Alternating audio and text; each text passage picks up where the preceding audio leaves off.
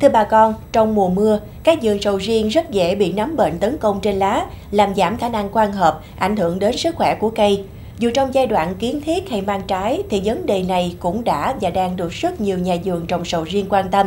Mới đây, Nông nghiệp Tử tế cùng với chuyên gia đã ghé thăm vườn sầu riêng tại xã Xuân Hòa, huyện Kế Sách, tỉnh Sóc Trăng để tìm hiểu về tác dụng của đạm cá Mai Thiên Thanh trong việc khắc phục vấn đề này.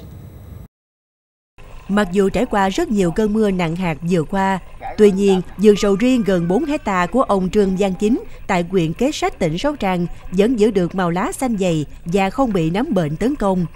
Mới tiếp cận với phân hữu cơ đạm cá đến từ Đồng Tháp, ông cũng e dè và quyết định chừa lại vài cây sầu riêng để áp dụng theo phương pháp cũ.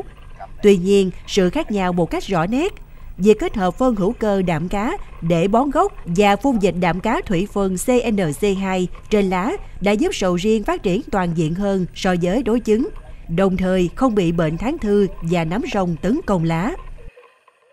Trong cái điều kiện mà mưa nhiều, à, điều kiện mưa nhiều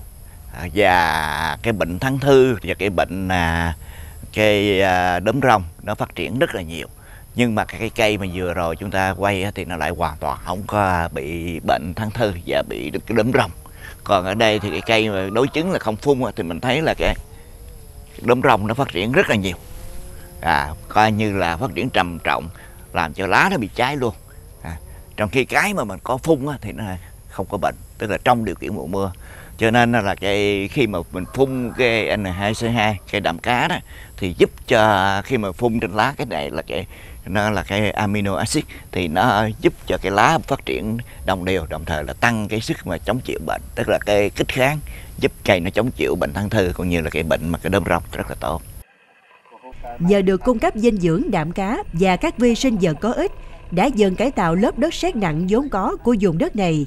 Khi có sự hoạt động của hệ thống vi sinh vật và đạm dễ tiêu, đã góp phần cải tạo lý tính đất, làm cho đất tơi xốp và thoáng khí rễ sầu riêng có thể phát triển nhanh chóng và hấp thụ dinh dưỡng tốt hơn. Lên 10 ngày, tới 10 ngày là cái cái cái cây sầu riêng mình nó bún đọt liền, nó bún đọt, nó bún đọt bị nó đạm mà, nó, đạm cá đó thành ra nó nó bún đọt ra, nó bún đọt ờ, tôi thấy được. Là nó bún dài lắm nha, rồi nó ra dài vậy nè, nhưng mà phải cây ờ, thêm cái ờ, xe C, C, C2 á. Của đạm cá luôn đó. Khi nào có đạm cá luôn đó xịt lên luôn. Là nó nó ra rất lẹ. Đó, là trong vòng nửa tháng là nó ra cả năm tấc rồi rất rẻ hơn. Tại vì của mình là bên mình nó là có 160 ngàn mà bao 25 mà nó là thành phần của nó là đạm. Còn cái cái mà như phân gà nó xài rất nóng nó nóng cho cái cây sầu riêng nó áp dụng nó không lợi với uh, à, hữu cơ nó lời đa dạng lắm nó nhiều lắm. Tôi cũng xài nhiều thử qua hết. Nhưng mà so lại với hàng đạm cá của mai thiên thanh á là thấy nó nó, nó nó nó chất đạm của nó cao. Dùng cho cây sầu riêng nó dày lá nó nó, nó đẹp. Cũng theo chủ vườn việc bón phân đạm cá mai thiên thanh Ngoài tác dụng canh tác cho vườn sầu gần 4 hecta, ông còn tiết kiệm tiền công phun thuốc bảo vệ thực vật mà vẫn an tâm trong mùa mưa bão thất thường như hiện nay. À, anh à, chính chủ vườn này cho biết là anh tiết kiệm là cái DAP, tức là khi mà bón cái đạm cá rồi là cái giảm rất là nhiều cái lượng phân hóa học và cái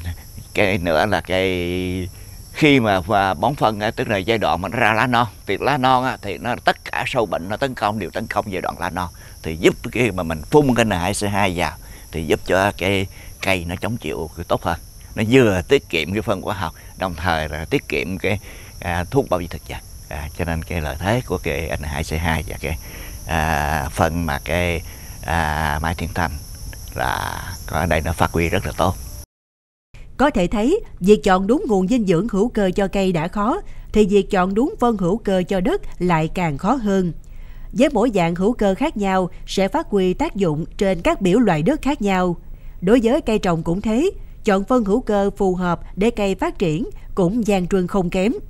Phân hữu cơ đạm cá Mai Thiên Thanh được đánh giá là phù hợp với nhiều biểu loại đất và cây trồng sẽ là người bạn đồng hành cùng nhà vườn, cùng nông nghiệp xanh và bền vững Điều này góp phần tạo ra sản phẩm nông nghiệp sạch, an toàn và hướng đến nông nghiệp xanh trong vùng đồng bằng sông Cửu Long.